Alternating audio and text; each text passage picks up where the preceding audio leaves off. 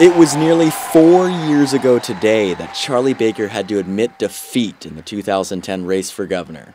That would not be the case this time, as Charlie Baker is now the newly elected governor of the Commonwealth of Massachusetts. Tonight, the voters said yes. Though Martha Coakley did not officially concede last night, all five major television networks called the election in favor of Baker. In his victory speech, he did not criticize Coakley for her decision. In fact, he reminded supporters that every vote counts. I talked to her a couple minutes ago, and she said she really wants to wait till the morning to see the final results. Hey, that's fine. That's fine. In politics, in elections, every vote counts.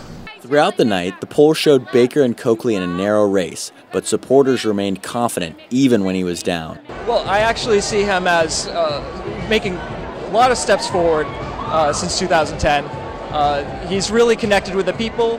He's been able to uh, put a, a friendly face forward, and I think that makes a big difference. He also received support from former Governor Bill Weld, whom Charlie worked for from 1991 to 1997.